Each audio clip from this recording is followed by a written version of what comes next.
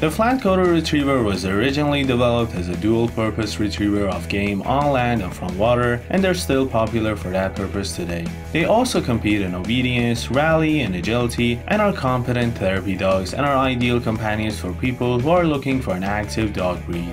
Apartment dwellers should beware however, as these pups definitely need room to run and play. Keep up with daily walks to meet this breed's high exercise needs.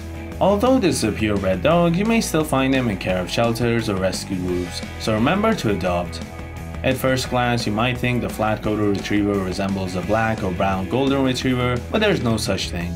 He's a distinctive breed originally developed as a dual-purpose retriever of game on land and from water. His early popularity, which peaked before World War I, was eclipsed by that of the Golden and Labrador retrievers, but his fans think that's for the best, preferring to keep the secret of this fun-loving yet hard-working nature to themselves.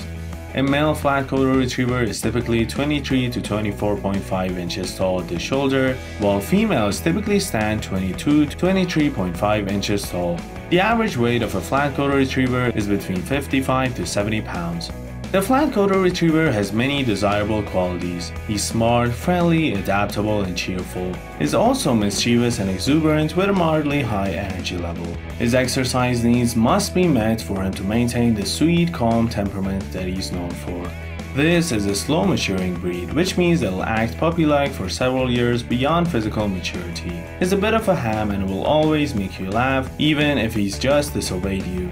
The flat coat is sensitive and doesn't respond well to harsh training methods, and he may react by becoming stubborn or simply refusing to do anything you ask until you soothe his hurt feelings.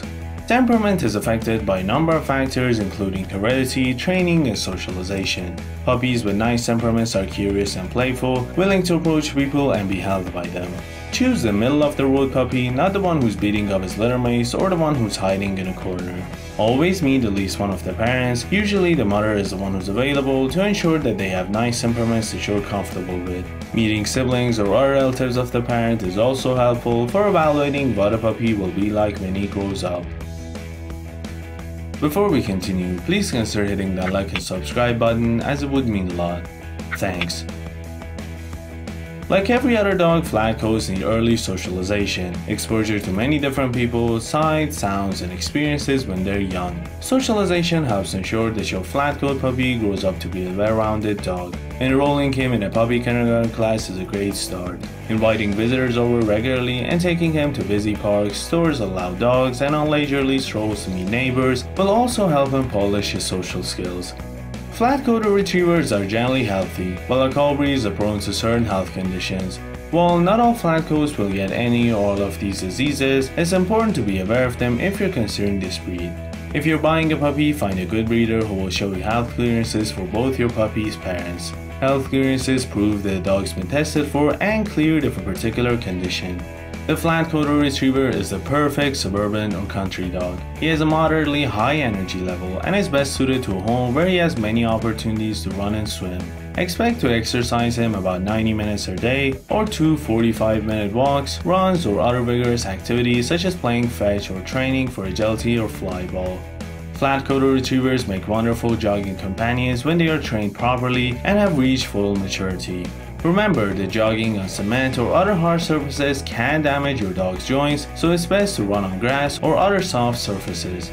Go easy on puppies. They need approximately 5 minutes of exercise for every month of age per day. So for example, if your flat coat puppy is 4 months old, he needs about 20 minutes of daily exercise. How much your adult dog is depends on his size, age, build, metabolism, and activity level. Dogs are individuals, and just like people, they don't all need the same amount of food. It almost goes without saying that a highly active dog will need more than a couch potato dog. The quality of the dog food you buy also makes a huge difference. The better the dog food, the further it will go towards nourishing your dog and the less of it you need to shake into your dog's bowl. Keep your flat coat in good shape by measuring his food and feeding him twice a day rather than leaving the food out all the time. The flat-coated retriever has a straight, moderately long coat that protects him from all types of weather, water, and ground cover. The coat comes in solid black or solid liver, meaning a deep reddish-brown color. Flat-coated retrievers are relatively easy to maintain and require only weekly brushing unless the dog is shedding. By then, you'll probably want to brush daily to keep the amount of loose hair floating around under control. Flatcoats are great friends for active older children, whether that involves running, swimming, or chasing the ball. They can be overwhelming for toddlers, however, accidentally knocking them over with one wag of their ever wagging tail. As with every other breed, always teach children how to approach and touch dogs, and always supervise any interaction between dogs and young children to prevent any biting or ear or tail pulling on part of either party. Teach your child never to approach any dog while he's sleeping or eating or to try to take the dog's food away. No dog, no matter how friendly, should ever be left unsupervised by a child. Flatcoats enjoy the company of other dogs and can learn to get along with cats, especially if they're raised with them since puppyhood. They might be a little too fond of pet birds, however, if you know what I mean. Alright guys, what do you think about the flat coated retriever? Tell me down in the comments.